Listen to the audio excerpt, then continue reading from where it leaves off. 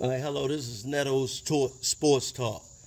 We got Mr. New York here again, Mr. Earn. Now, we're going to talk about today about Deion Sanders and the job he doing at Colorado.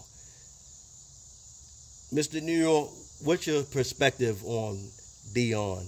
I wish him nothing but the best. They say they college got this word about the portal where you go into and get good players, or you know where the good players come from, or and I understand that some people, some of our players left his last team to come to Colorado just to play with him. This man is on a steadfast schedule, and he's got his head in the right place, and he's getting the right players as we speak. So between this year and next year, he can only get better, but he's headed in the right direction, and he's got his foot in the door. So I wish him nothing but the best. A black coach too, you kidding me?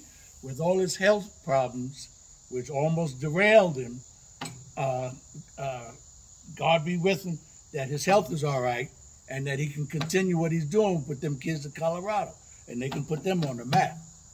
Okay, that's going to conclude the in- interview.